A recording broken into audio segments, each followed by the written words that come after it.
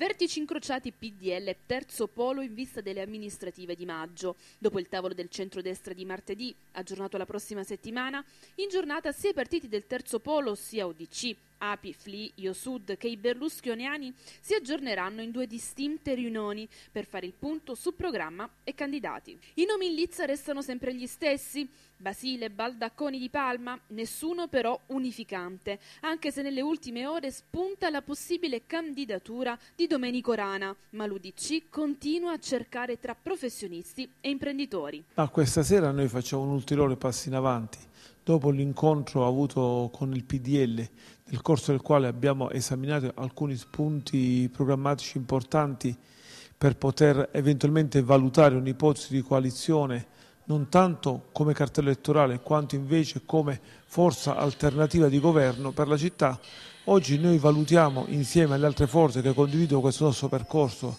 di terzo polo allargato, definiamo così, l'ipotesi di una rosa di candidati da poter poi valutare in un momento immediatamente successivo con il PDL.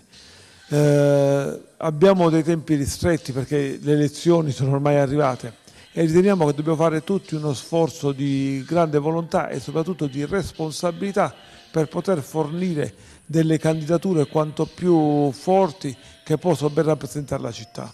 Siamo a buon punto. Poi sull'alleanza con Cito il segretario provinciale dell'UDC risponde. Ma io ritengo che non che perché debba fare melina o debba aggirare l'ostacolo.